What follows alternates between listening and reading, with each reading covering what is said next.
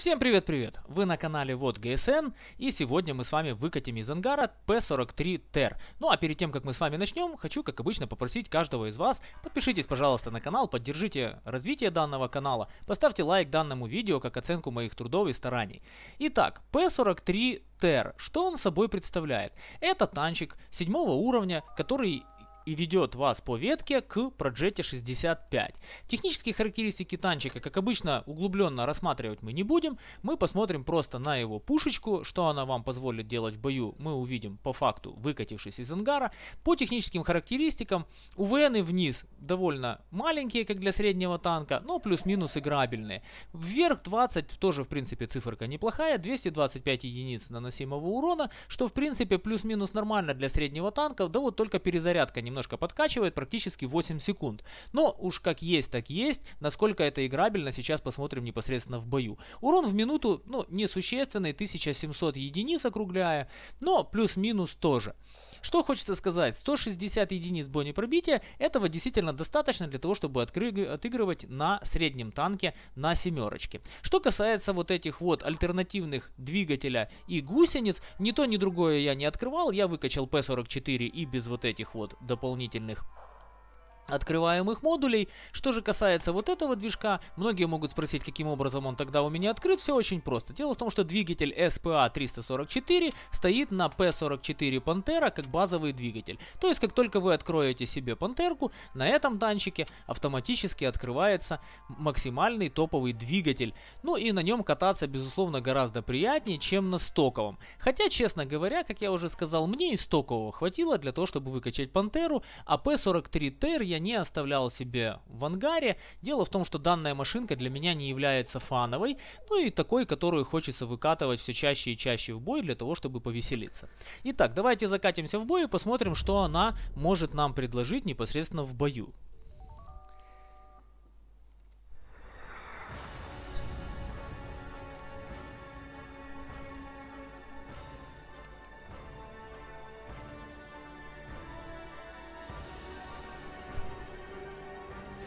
Итак, ребятки, первое, что мы с вами, как обычно, можем заценить, начиная бой, пока мы еще не схлестнулись непосредственно с врагами, это, безусловно, подвижность машинки. Подвижность машинки, я бы сказал, что оставляет желать лучшего, поскольку средний танк, мне кажется, должен ездить чуть-чуточку бодрее. Но дело в том, что по моему скромному мнению, вот эта вот градация легкие танки, средние танки, тяжелые танки, она должна существенно ощущаться игроком в процессе использования той или иной машины. На данной машинке ощущение такое, как будто вы едете на плюс-минус стандартном тяжелом танке, ну вот только единственное, что бронирование абсолютно у вас не тяжелого танка, поэтому ощущения какие-то странноватые во время игры. Но это, по крайней мере, мое субъективное мнение. Если имеете обратное мнение, напишите в комментариях. Итак, по подвижности мы плюс-минус поговорили. Подвижность такая себе, хотелось бы немножко лучше. Ну да ладно уж, какая есть, такая есть. Что касается пушки. Пушечка, дело в том, что очень тугая на сведение.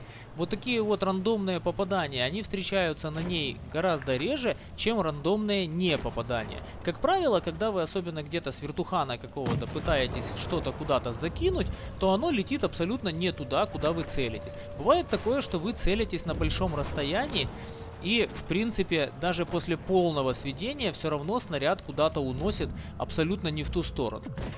Ну, вот как сейчас было. В принципе, играя на каком-нибудь другом среднем танчике, я думаю, что шансов попасть в этого крушителя у нас было бы гораздо больше. А вот здесь вертухана залетела. Ну, то есть пушка стреляет туда, куда ей надо, а не туда, куда вам хотелось бы.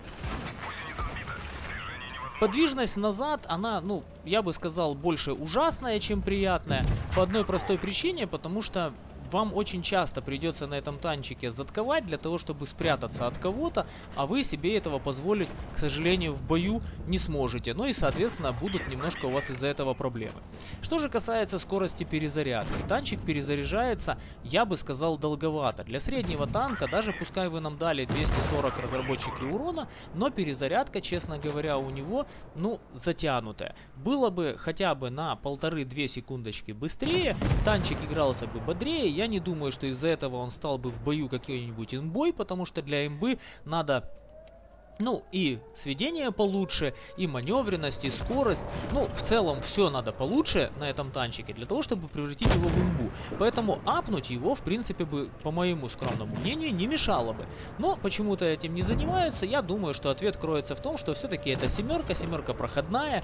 Ну и Зачем апать семерку, если в принципе можно оставить ее и такой, игроки чутка там на ней покатаются, покатаются, выкачают следующий уровень и на этом успокоятся. Сейчас наш пылающий ну, в любом случае, бедняга проиграет. Мне, кстати, очень жаль, когда вот э, были шансы на победу, а шансы у нас были, и эти шансы не оправдываются. Ну, как есть, так есть. Жалко, что у Пылающего не поворачивается полностью его башенка, так бы он вполне спокойно этого тигра сейчас добрал одним шотом, но, к сожалению, как есть, так есть. Итак, смотрим результаты нашего с вами боя.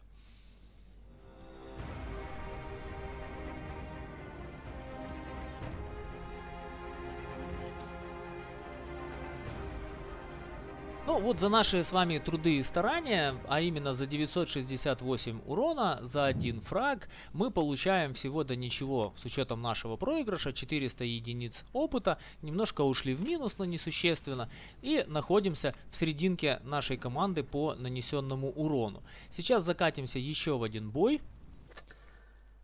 И посмотрим, насколько этот бой будет отличаться от предыдущего.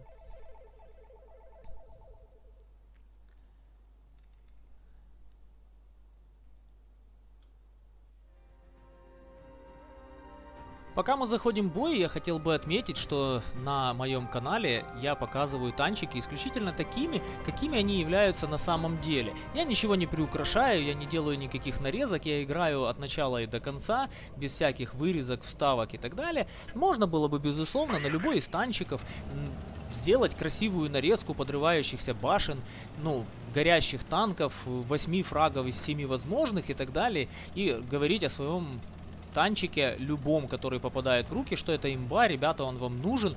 Я этим не занимаюсь. Если вы хотите подобные видео, смотрите другие каналы, такого контента в YouTube хватает.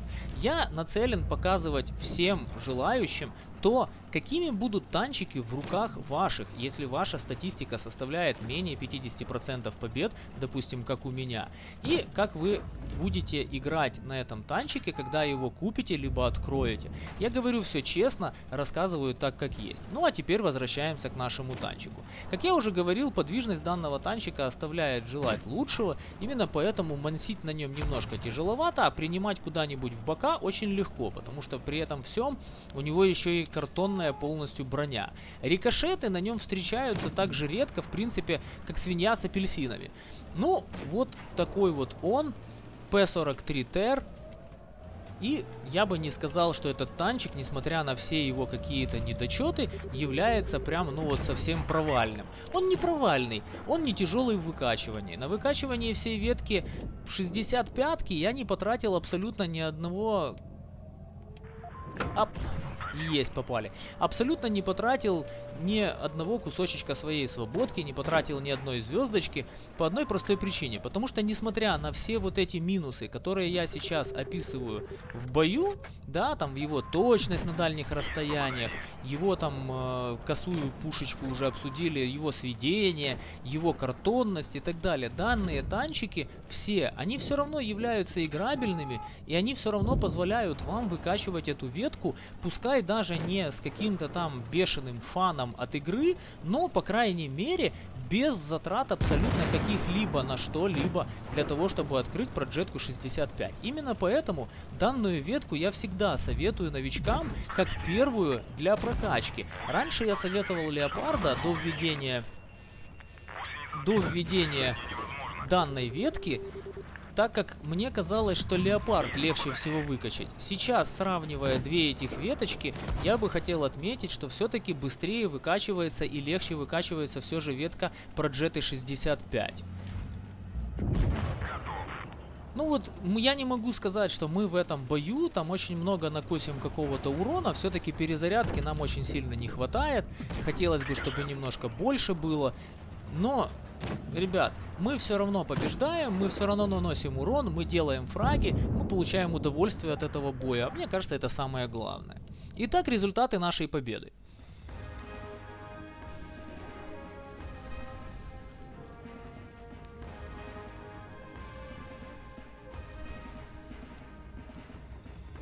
Ну что, братцы, давайте посмотрим.